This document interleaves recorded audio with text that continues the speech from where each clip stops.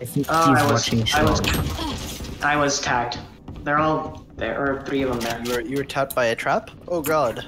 Uh, I'm sorry to hear that. That was almost bad. Yes, it was almost bad. You got tapped by a trap. Enemy spotted B. Is Thresh good on a sniper? Stealing No, because it doesn't work in PvP. Huh? Whenever you use Thresh, like Thresh just gives you more soup energy. It doesn't work in PvP. There. Oh.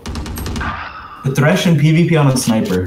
Or like any any high impact slow firing weapon. No, it's bad on, on special weapons and high impact. It's good on fast primary because it's for ad clear and you just get a bunch of soup energy if you do ad clear with it. That's Huh. So it, it doesn't scale.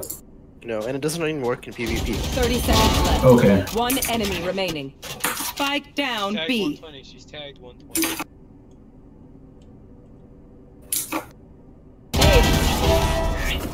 Hey, we got our option, bro. Before me.